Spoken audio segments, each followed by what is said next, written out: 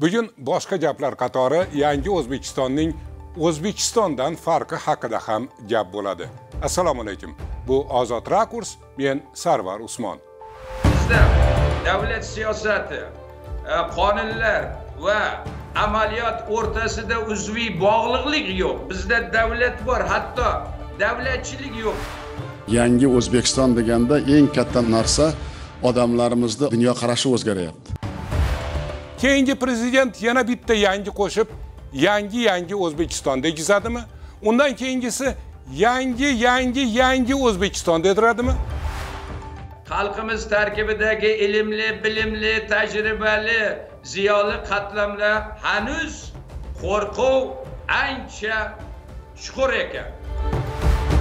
Bir yuz million dollar beraman. Dollar alin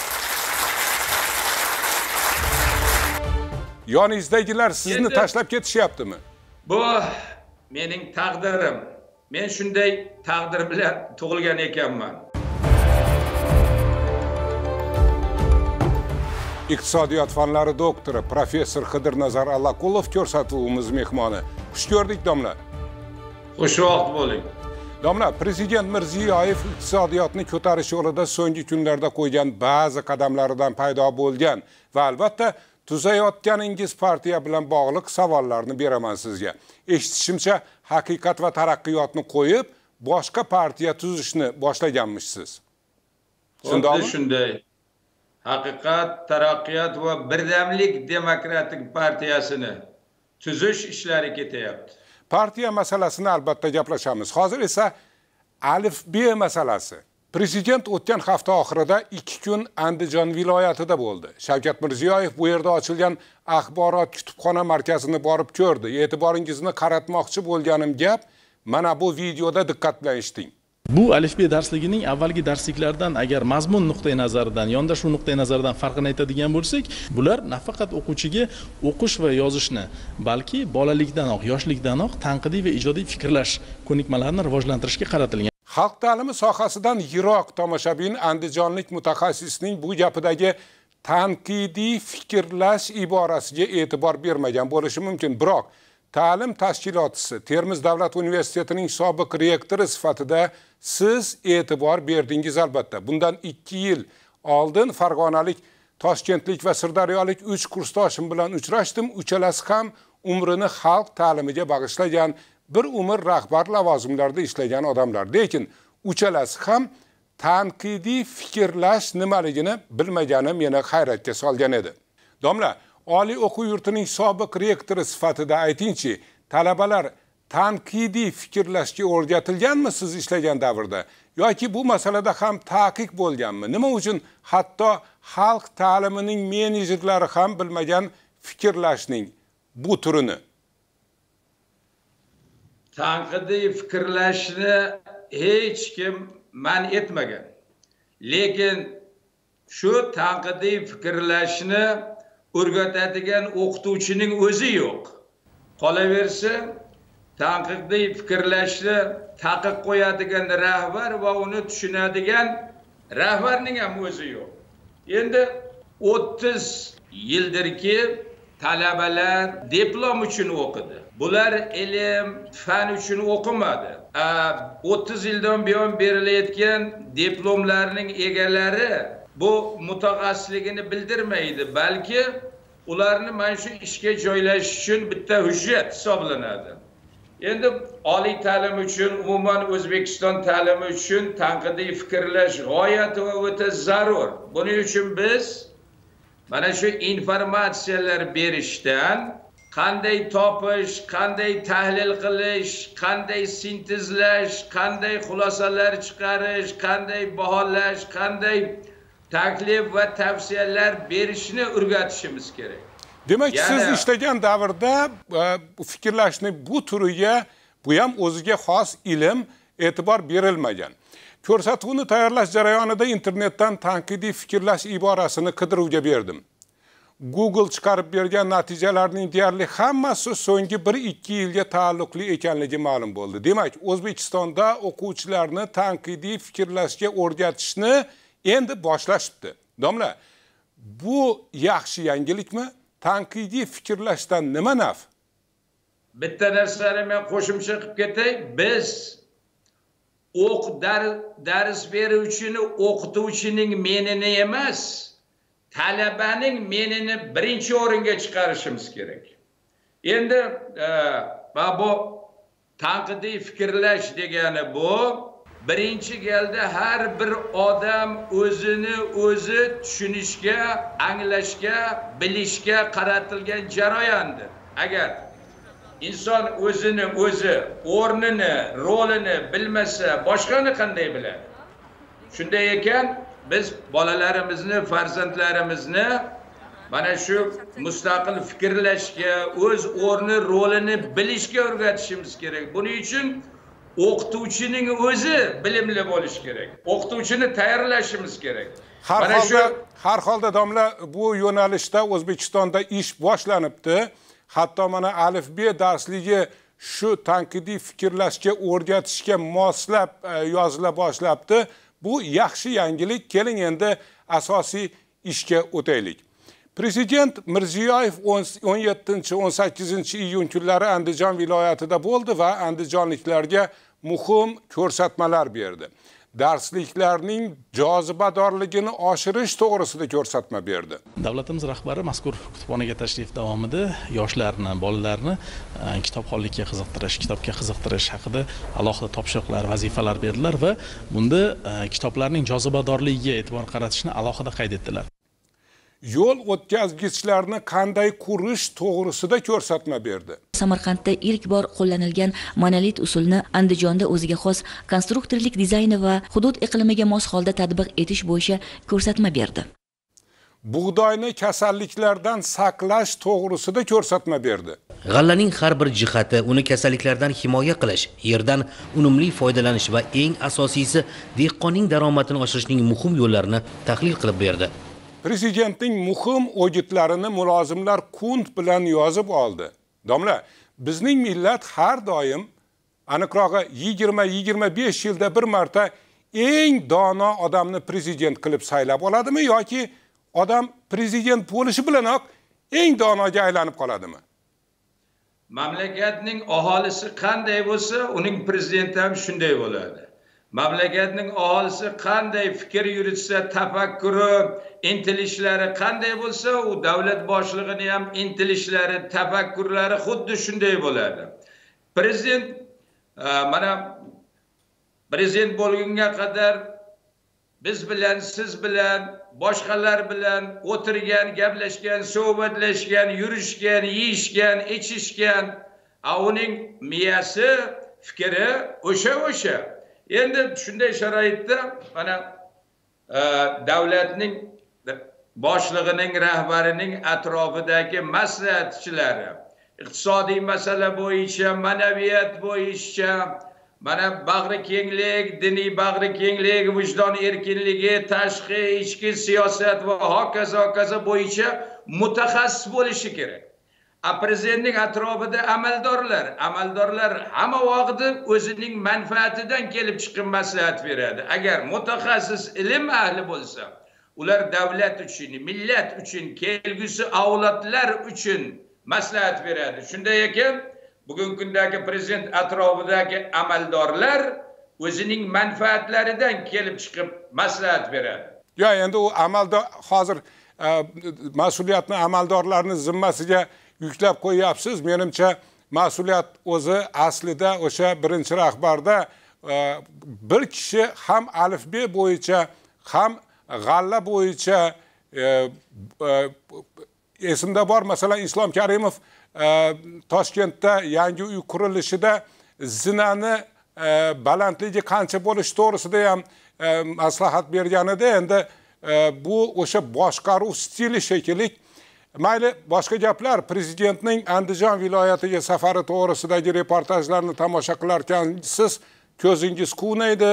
Dilingiz yayraydi ertangi kunga ishonch paydo bo'la boshlaydi. Toshloq yerga ekin ekib mo'l hosil olish mumkinmi? Agar sohaga ilm va innovatsiya jalb qilinsa buning uddasidan chiqsa bo'ladi. Andijon viloyatining paxtaobod tumanida joylashgan hayotbaxsh qishlog'idagi innovatsion issiqxona hududi ilgari tosh shag'al karyeri bo'lgan. Davlatimiz rahbari andijonga tashrifi davomida mega agro mas'uliyati cheklangan jamiyat tomonidan 16,5 gektar maydonda qurilgan gidroponika usulidagi ochiq va yopiq innovatsion issiqxonalar faoliyati bilan tanishdi. Syujet davomida bu korxona paxtachilik instituti tajriba uchastkasi ekan degan tasavvur hosil bo'ladi. Bu biz uchun yangilik. Biz foydalanilmaydigan оборотdan chiqib qolgan maydonlarni yana оборотga qaytarish ulardan unumli foydalanish. Birozdan so'ng bu issiqxona paxtachilik instituti hamkori ekanligi ma'lum bo'ladi mana shu paxtaobod tumanidagi mana shu siz bilan biz ko'rib turgan zamonaviy texnologiyani joriy qilgan demak korxona bilan biz shartnoma imzoladik. Mana shu shartnomaga muvofiq demak biz kelishdikki issiqxona xo'jaligini tashkil etish sabzavot ekinlarini yetishtirish ta'lim yo'nalishlari bo'yicha e, tahsil olayotgan talabalarni ishlab chiqarish amaliyotlarini tashkil qilish. Magistrlarni qolaversa demak doktorantlarimizni demak tadqiqotlarini aynan mana shu yangi texnologiyalarda demak olib borishni demak kelishib oldik. Albatta tomchilatib sug'orish yaxshi. Albatta gidroponika yaxshi. Lekin bu kadrlardan prezident go'yo xalq xo'jaligi yutuqlari ko'rgazmasida yurganday tasavvur qoladi. Qishloq xo'jaligidagi asl vaziyat esa boshqa xabarlardan ma'lum. Masalan kuni kecha andijonlik fermerlar prezident mirziyoyevning topshirig'i bilan tugatilayotgan o'zagrokimyo himoya tashkilotiga mineral o'g'it uchun pul o'tkazishga hokimlar majburlayotgani to'g'risida shikoyat qildi. Birja bilan farq katta uni. Masalan? Farq katta uni. Masalan bir tonna selitrani siz birjadan qanchaga olasiz? O'zagrokimyo sizga qanchaga beradi? Birjadan birjadan oladigan bo'lsa bir million olti yuz mingga olamiz. Boring bir million yetti yuz ming bo'lsin. Bir tonnasini tashkilotda oladigan bo'lsa ikki million uch yuz ming yo'q shuning uchun bezillaydi nimalar fermerlar domla prezident andijon qishloq xo'jaligining shou-rumini ko'rib ketaversa fermerlar o'z yog'iga o'zi qovurilaversa mamlakat ertaga yana teshik tos bilan qolib ketmaydimi?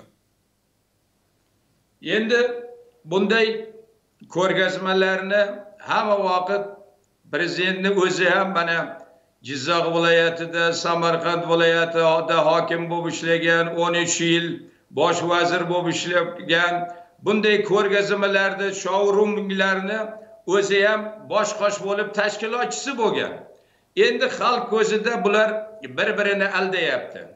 Lekin oxir oqibatda zararni xalqimizni e, o'zi ko'radi. Mana qarang namanganda prezident borganida byudjetdan o'n besh milliard so'mga issiqxonalar qurgan edi. Prezident ketgandan keyin mana ijtimoiy tarmoqlarda xususan ozodlikda ko'rsatildiki qanday vayron qilingani. Bu e, sotsializmdan qolgan mana shunaqa bir illatki bu bizning rahbarlarimizni amaldorlarimizni qon qoniga singib ketgan va bundan hech qutula olishmayapti. Boshqa mavzuga o'tishdan oldin prezidentga ko'rsatilgan issiqxonada e'tiborimni o'ziga tortgan bir narsaga to'xtalmoqchiman. Turgan joyimiz ham bu yer shag'alli joy karyer bo'lgan shag'al. Bu yerda o'simlik o'stirish juda qiyin o'smaydi shag'allik uchun. Bu texnologiya bo'yicha juda qulay. Kadrdagi karamlarga e'tibor bering. Siz tomoshabinga qanday bilmadimu lekin menga karamlar so'lib qolganday ko'rinyapti. Axir karam degani andijonliklar iborasi bilan aytganda diriklab turmaydimi? Yo'q yo'q. Hayolingizga kelgan narsani aytmoqchi emasman. Qarang tomiri ham bor. Biroq karam barglari so'lib yotib qolgani tinchlik bermayaptida. Bu ko'rinish prezidentning andijon safari bilan bog'liq boshqa bir voqeani yodga soldi. Prezident andijondan ketishi bilanoq ijtimoiy tarmoqlarda mana bu video paydo bo'ldi. Mana bu yerdagi anchalar qani xotin? Archalar bor edi rosa chiroyli kelgan prezident kelishiga qanikilar qani deb o'ylaysizlar iye archalarimiz yuklab olib ketishyaptimi iye voy qani archalarimiz archalarimni topinglarchi и voy ekilgan archalarni qaranglar voy voy gullar voy voy hammasini tuvada ko'mib qo'yishgan ekanda. Voy sharmandachilik. Ertasi kuni andijon viloyat hokimligi bu videoga munosabat bildirdi. Obodonlashtirish ishlari olib borish jarayonida gullarga shikast yetmasligi uchun ular tasvirda aks etgan avtomashina yordamida soya salqin joyga biroz muddatga ko'chirib turilgan bu ozod rakurs men sarvar usmon bugungi e, ko'rsatuvimiz mehmoni professor e, xidirnazar allakulov prezident andijonda kambag'al parvarlik qilib bunday dedi. G'alladan bo'shagan joylarni kam ta'minlangan odamlarimizga o'zimiz ekib beramiz o'zimiz qaratib beramiz birinchi marta. O'zimiz mahsulotni sotib olamiz. Lekin u birinchi marta. Lekin o'shani umidi bo'lsa kelgusi yil o'zi qiladi. o'n yilga beramiz. Prezidentning bu gapi go'zal g'oya bo'lib tuyuladi birinchi eshitishda chinakam kambag'al parvarlik bo'lib ko'rinadi. Menga ham shunday tuyuldi ko'rindi. Biroq birozdan so'ng shubhalar paydo bo'la boshladi. Prezident rejasi puxta o'ylanmaganday ko'rindi. Kambag'al oila odatda boquvchisi yo'q ishlaydigan a'zosi yo'q oila. Xo'sh shunday oila g'alladan bo'shagan dalani eplay oladimi? To'g'ri dala ekinsiz qolib ketmas undan hosil olinar puli kimningdir cho'ntagiga tushar lekin o'sha cho'ntak kambag'alniki bo'ladimi? Domla yo mening shubhalarimga o'rin yo'qmi? Shubhalaringizga o'rin bor. Asli yerni bunday berish xitoy usuli. Xitoy mana xuddi shunday yerni berdi lekin xitoy aslo yerni bergandan keyin dehqonning ishiga aslo aralashmadi. Kim aralashsa qattiq jazoladi. Demak dehqonga yer berildimi? Mutlaq hech kim aralashmaslik kerak. Uning o'zi qanday ekadi qanday nimani ekadi qanday yetishtiradi qayerga sotadi? Ya'ni o'zini o'zi nazorat qilishi shart. Bu bozorning talabi. Ya'ni lekin man o'ylayman bu prezident mana buni yerni mana dehqonga beradi o'zimiz ekib beramiz deyishiga men qo'shilmayman. Bu saylov oldi ommaga yoqish bir shunaqa bir yoqish usuli deb o'ylayman. Endi davlatning vazifasi hamma uchun hamma joyda bir xil amal qiladigan qonunlarni yaratish va uni ish bir xilda hamma uchun ishlashini nazorat qilish. Bizda davlat siyosati e, qonunlar va amaliyot o'rtasida uzviy bog'liqlik yo'q. Bizda davlat bor hatto davlatchilik yo'q. Davlatchilik degani bu e, madaniyat degani. Mana endi qarang prezidentning o'zi birinchi prezident o'sha rahbarligidagi yigirma besh yilni axlatxona edi dedi. Shuning uchun hozirgi mana bu yerni berdimi endi aslo yerga bergan ya'ni yerga ushlov berayotgan ekayotganning ishiga mutlaqo aralashmaslik kerak. Mana qarang denovda siz aytayotgan gap siz aytayotgan gap umumiy umumiy qishloq xo'jaligi munosabat masalasi fermer masalasi. Prezident aytgan gap qarang g'alladan bo'shagan joyni kambag'alga beramiz ekib beramiz deyapti. Men e, sizdan so'raganim kambag'alga foyda bo'ladimi shundan kambag'alni nomidan boshqalar boymay boyib ketmaydimi deyapman. Agar bu kambag'alning yoki kambag'al oilaning ishiga hech kim aralashmasa foyda bo'ladi deb hisoblayman. Lekin uning ishiga aralashsa unga ko'rsatmalar beraversa kambag'al bu yerda naf ko'rmaydi. Tushundim. Tushundim. Davom etamiz o'rni kelganda o'tgan gal boshlab qo'yganim prezident shiyponi mavzuini davom ettirgim keldi. Shavkat mirziyoyev surxondaryoga borganda dalaning qoq o'rtasiga qurilgan xos ayvonda turib gapirgan edi. Andijonning dalasida qurilgan prezident shiyponi surxondaryoliklar qurgandan ko'ra ko'rkamroq. Ko'ramiz. Bugun andijonda odamlarning dunyoqarashi o'zgargan yaxshi o'y xayollar bilan yashash ishtiyoqi ortgan. Muhimi bu orzular ro'yobi yo'lida davlat rahbarining viloyatga qilgan tashrifi yana bir qadam bo'ldi. Buni esa vodiy ahli katta mamnuniyat bilan qabul qilmoqda. Prezident andijonda qilgan eng katta ish yangi andijon shahri qurilishiga start berganidir. Kunlarga yetganlar bor yetmaganlar bor bugun mana shu butun elimiz butun respublika eshitadiki hech qaysi viloyatda toshkentda ham bundaqa rejalar qilmaganmiz. Bundaqa joy ham yo'q sharoit ham yo'q. Sizlarni duolaring bilan yangi andijon shahrini tamal toshini qo'ysak bu andijon shaharni yangi andijon rayoni bo'ladi. Erga hokim bo'ladi. To'rt ming gektarni sakkiz bosqichda qurmoqchimiz. Bunda birinchi ikkinchi bosqichda bir ming gektarga uch yuz o'nta kvartiralik bir yuz yetmishta ko'p qavatli uy bo'ladi. Andijon nafaqat o'zbekistondagi balki butun dunyodagi aholisi eng zid joylashgan hudud ekanligini shaxsan men o'rta maktabning to'qqizinchi sinfida o'qiyotganimda bilganman. Andijon viloyati maydoni mamlakat hududining bir foizidan oz viloyat aholisi mamlakat aholisining 10 foizini tashkil qiladi. Aholi zichligi viloyatda 1 kvadrat kilometrga 752 kishi. Andijon shahrida 1 kvadrat kilometrga 5750 kishi. Qiyoslash uchun mamlakatda 1 kvadrat kilometrga 76 kishi to'g'ri keladi.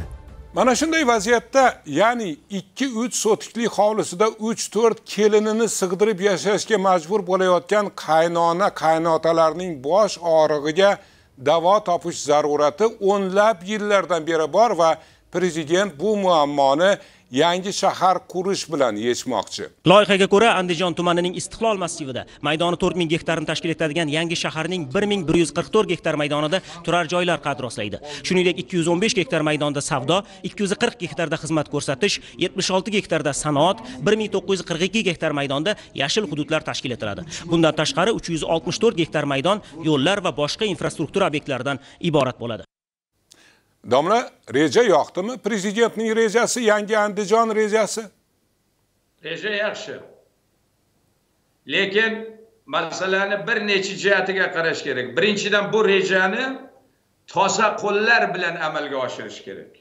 Mana qarang mana covid munosabati bilan sakson trillion so'm ya'ni sakkiz milliard dollarga ajratilgan ekan. Bunda mana toshkent viloyatida e, mana konteynerdan iborat qishloq qurilgan ziyodda tumanida covidga shifoxona qurilgan. Lekin shu jarayonda dastlabki loyihaga sakkiz o'n marta o'zgartirish kiritilib narx bir qanchaga oshirilgan?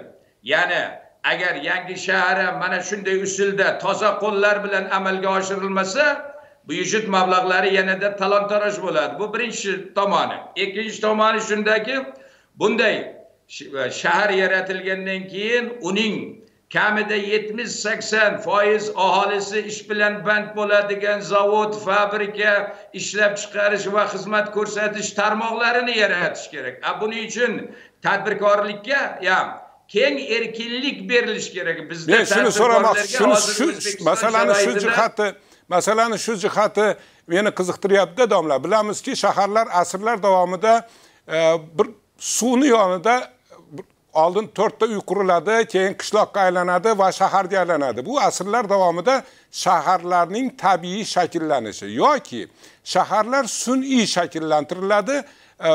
Bu holatda shahar bir juda katta ishlab chiqarish korxonasi atrofida paydo bo'ladi. Zavod quriladi kombinat quriladi va atrofida shahar paydo bo'ladi.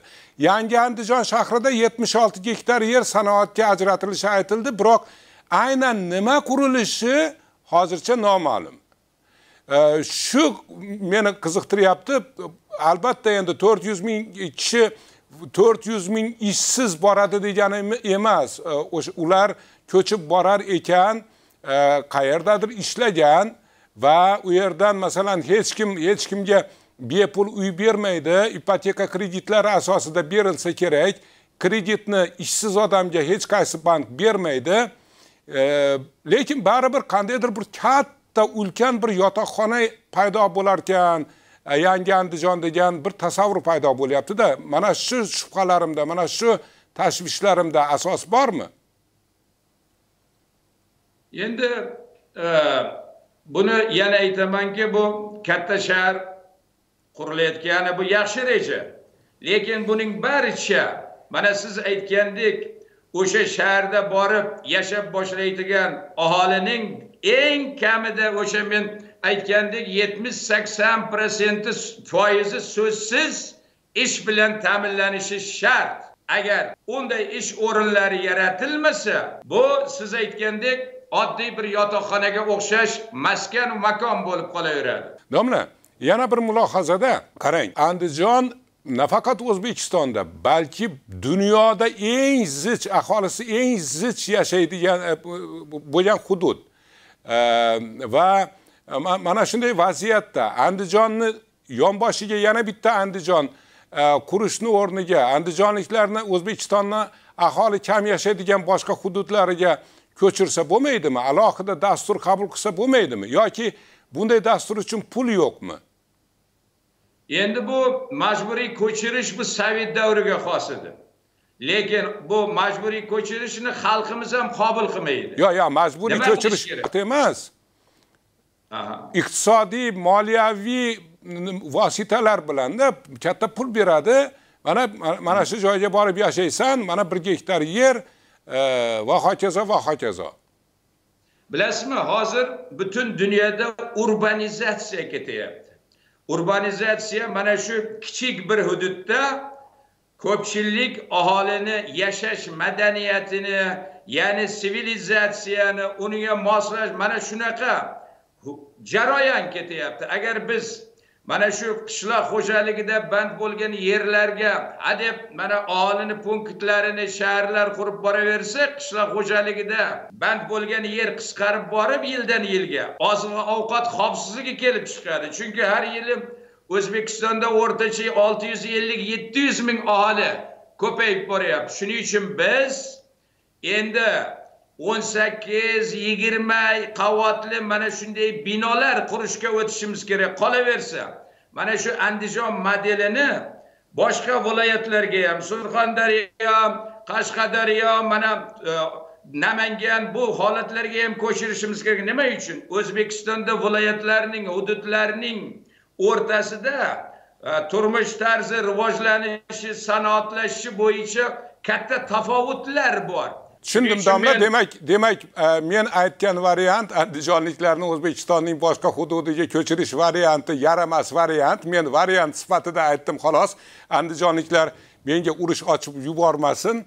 Mana endi e, partiya masalasiga o'tamiz domla. E, domla siz yetakchilik qilgan tashabbuschilar guruhi tuzganini e'lon qilgan haqiqat va taraqqiyot partiyasini adliya vazirligi ro'yxatdan o'tkazmaganini shu mavzuga qiziqqanlarning hammasi bilib bo'lgan nega shunday bo'ldi degan savolga tarafdorlaringizning javobi bir xil. Hokimiyat o'zi uchun siyosiy raqobatchi paydo bo'lishini istamayapti. Sizningchi? Sizning sizning javobingiz qanday? sizni javobingiz qanday? Bu to'g'ri. Bu asosiy to'siq bo'ldi. Mana shu bosim tazyiq sazoyi qilish tajovuz qilish tan jarohati yetkazish imzo beruvchilarga imzo yig'uvchilarga bo'ldi bu lekin masalaning ikkinchi jihati bor. Ikkinchi jihati shuki xalqimizda ayniqsa ziyoli xalqimiz tarkibidagi ilmli bilimli tajribali ziyoli qatlamlar hanuz qo'rquv ancha chuqur ekan. Endi mana shunday sharoitda albatta bu obyektiv jihat sababi bir yarim asr davomida xalqimiz uning ziyolisi qo'rqitilib bosh ko'targani kallasini olib kelingan. Shu chor rossiyasi davrida ham o'n sakkizinchi o'ttizinchi o'ttiz olti o'ttiz yetti ellik to'rt ellik besh oltmish beshinchi yil to bugungi qadar bosh ko'targan ziyolini kallasini olib kelishgan. Mana shu obyektiv subyektiv e, omillar tufayli biz e, adliya vazirligida ro'yxatdan o'ta olmadik. Uning sababi imzolarni o'n mingta topshirdi yigirma mingtani o'rniga dedi. Aslida biz agar haqiqatdan yig'ilgan imzolarni yo'llarda olib qo'yilgan tortib olingan konfiskatsiya qilingan imzolarni va adliya vazirligi hisobga olmagan imzolarni hammasini hisoblasa qirq ellik mingdan kam bo'lmagan imzolar yig'ilgan edi. Lekin afsus nima deysiz? Mana shunday qilib bizni ro'yxatdan o'tkazmadi. Ko'rsatuvimizni tayyorlash jarayonida siz yana bir yangi partiyani haqiqat taraqqiyot va birdamlik partiyasini tuzish ustida ish boshlaganingiz ma'lum bo'ldi. Ishonasizmi buni ro'yxatdan o'tkazilishiga yangisini? So'zsiz ishonaman. Sabab nega birdamlik deb va haqiqat taraqqiyot va birdamlik dedik? Shunday mana o'sha partiyani tuzish jarayonida bir yil davomida ko'rib kechirib guvohi bo'ldikki xalqimiz o'ta tarqoq. Bosh hamdard emas birini ko'rayotgan jabrini chetdan turib tomosha qilib turadi. Ya'ni biror bir masalaga kirishsa oxirigacha tura olmaydi. Mana ijtimoiy tarmoqlarda u yoki blogerni e, qamashadi. E, Ikki uch kun ijtimoiy tarmoqlarda chiqishadi birdaniga. Shuni bilan yodidan chiqarishadi va oxirigacha bormaydi. Shuning uchun biz birdamlik deganimizni boisi ham sabablari ham shu bo'ldi. Biz o'n ming mayli adliya vazirligi aytgan o'n ming imzo deylik. O'n ming imzoni qanday sharoitda berdi xalqimiz? Bosim taziq qo'rqituv so'roq mana uyiga bostirib kirish tajovuz qilish tan jarohati yetkazishiga qaramasdan kuch ishlatar tuzilmalarni hokimiyat mahallalarni mana xalqimiz adliya vazirligini gap aytgan bo'lsak o'n mingta imzoni berdi. Mana shunaqa zulm sharoitida ham endi xalqimiz nihoyatda siyosiy faollashdi. Bu o'n ming bizning ortimizda turganligini rasman adliya vazirligining o'zi e'lon qildi. Demak tasavvur qilingki mana endigi e, safar mana shu imzolar yig'ish jarayonida kamida o'n ming vatandoshlarimiz o'zini safarbar qiladi. Va o'ylayman bizning ziyolilarimiz ham uyg'onadi. Vatan uchun mamlakatimiz taraqqiyoti uchun xalqimizning kelgusi avlodlarimizning taqdiri uchun qo'rqoqlikni bir chekkaga surib tashlab bu partiyani tashkil topib rasman adliya vazirligidan ro'yxatdan o'tishida nihoyatda faollik qilib xalqimizning oldingi qatorida bo'lib undaydi va ortidan yetaklaydi deb ishonaman. Ho'p tushundim. Ishonchingiz bor ekan. Oxirgi savolim domla. Partiya tuzish yo'lida harakat boshlaganingizdan beri boshingiz yumshoqroq aytganda g'alvadan bo'shamayapti. Tinchgina yashasangiz bo'lmaydimi? Sizga nima zaril bu mening taqdirim. Men shunday taqdir bilan tug'ilgan ekanman. Hamma vaqt mana shu taqdirimga loyiq bo'lishga intildim va bundan keyin ham so'zsiz intilaveraman. Mana men oliy ta'lim va mana shu tizimida turli mana mansab pilla poyalalarida qanday ishlaganimni xalqimiz biladi. Mening tutgan hayotdagi pozitsiyam nuqtai nazarim hech qachon o'zgarmaydi va men mana shu taqdirimga sodiq bo'lib shunga loyiq bo'lishga so'zsiz intilaveraman. Yana bitta savol yana bitta savol bermasam bo'lmaydi. Kecha san, e, dramaturg sanjarali imom bilan gaplashdik. E, u kishi aytyapti qidirnazar allaqulovni yonida e, yurganlar bizga o'tdi deydi u kishi e, a'zo bo'lgan guruh ozod vatan partiyasini tuzmoqchi. Bunga nima deysiz? Yoningizdagilar sizni tashlab ketishyaptimi yo'q yo'q yo'q sarvar aka fikrlar har bir inson o'zining nuqtai nazariga pozitsiyasiga fikriga ega bo'lishi kerak. Hamma insonning ham fikri g'oyalari bir biriga mos kelavermaydi.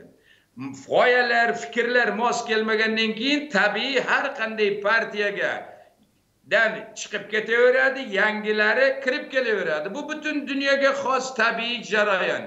Ular agar mana siz aytgan nom bilan vatan ozodligi nomi bilan partiya haqiqatdan tuzishga kirishgan bo'lsak biz bu biz bundan nihoyatda quvonamiz. Biz mana shuning uchun kurashyapmiz va biz hamma vaqt siyosiy maydonda monopoliyani yo'q bo'lib siyosiy maydonda erkin raqobat bo'lishini va siyosiy maydonda ko'plab siyosiy partiyalar bo'lishini tarafdorimiz va biz qo'llab quvvatlaymiz shu jumladan sanjar imomov e, o'sha e, tashkil etayotgan partiyani ham biz qo'llab quvvatlaymiz. Tushundim. Rahmat domla. Iqtisodiyot fanlari doktori professor xidirnazar alakulov ozod rakurs mehmoni bo'ldi. Bir necha soniyadan so'ng ba'zi shaxsiy mulohazalarimni aytaman. Mulohazalarim yangi so'zi bilan bog'liq. Ko'p ishlatilyapti bu so'z keyingi paytlarda. Boyagina yangi andijon haqida gapirdik. Yangi andijon shahri hozircha qog'ozda. Nasiya biroq nomi naqd. Qurilajak yangi shahar andijonliklar uchun qanchalik qulay bo'larkin bilmadimu lekin nom juda qulay. Andijonliklar bu nomni tilini qiynab yangi andijon deb ikki so'z qilib aytmaydi. Anjancha qilib yanganjan deydi qo'yadi. Qayoqqa ketyapsan? Yanganjanga qayerdan kelyapsan? Yanganjandan hozircha yanganjan nasiya biroq yangi o'zbekiston naqd. Yaqindan beri o'zbekiston e yo'q be yo'q yangilanib qoldi. Avvaliga propagandistik taraqa turuq deb o'ylagandim. Yo'q borgan sari jiddiylashib boryapti. Yangi o'zbekiston degan gazeta paydo bo'ldi. Kuni kecha yangi o'zbekiston universiteti ochiladigan bo'ldi. Prezident mirziyoyev yangi o'zbekiston iborasini qanday tushunish haqida andijonda mana bunday dedi. Yangi o'zbekiston deganda eng katta narsa odamlarimizni dunyoqarashi o'zgaryapti xalqimizni islohotlarimizga inonishi ishonishi. Biroq bu iborani propaganda vositasi sifatida iste'molga kiritganlar chuqurroq o'ylamagan ko'rinadi. Chunki odamlar oddiy odamlar prezident fikrlaydigan miqyosda fikrlamaydi. Ular yangi o'zbekiston iborasini boshqacha tushunadi. Oilasiga hovlisiga ko'chasiga guzariga mahallasiga shahriga qaraydi va o'sha yangini izlaydi. Bu izlov esa xavflidir. Psixologik jarohatlidir chunki ko'pincha topilmaydi o'sha yangi va natijada asablar qaqshaydi. Jamiyat tanasi harorati ko'tariladi jamiyat isitmalaydi yangi so'zining lingva psixologik xavfi ham bor. U ajratuvchi bo'luvchi so'zdir. Andijonliklar yangi toshkentliklar yengi deydi. Yong'i deguvchi o'zbeklar bor jang'i deguvchi o'zbeklar bor xorazmda umuman boshqa so'z ishlatishadi toza deyishadi ular. Shundoq ham yaxshini yanayam yaxshilashga urinishdan nima naf? Tushunmayman. Axir o'zbekiston so'zining o'zi yetarli emasmi? Axir bu so'z birlashtiruvchi so'zku. Barcha shevalarda bir xil aytiladi bu so'z. Hatto talaffuzida ö tovushi bor anjanliklar ham shu kunda o'zbekiston emas o'zbekiston deydigan bo'lib qolgan. Yana bir narsani tushunmayapman. Keyingi prezident yana bitta yangi qo'shib yangi yangi o'zbekiston degizadimi undan keyingisi yangi yangi yangi o'zbekiston dediradimi yo'q unday qilishmasa kerak. Chunki esdan chiqib qoladi. Xuddi karimov davridagi gaplar shiorlar esdan chiqib qolganiday. Mana bu shavkat mirziyoyevning 2020 yili turkiyada bosilgan kitobi. Yangi o'zbekiston kelajagi buyuk davlat deb ataladi kitob. Mana bu esa islom karimov to'g'risida 95 yilda bosilgan kitob. O'xshashlik ko'rmayapsizmi? Ko'rgan bo'lsangiz unuting. Hozir yangi o'zbekiston boshqa yangi o'zbekiston. Bo'ldi. Tamom.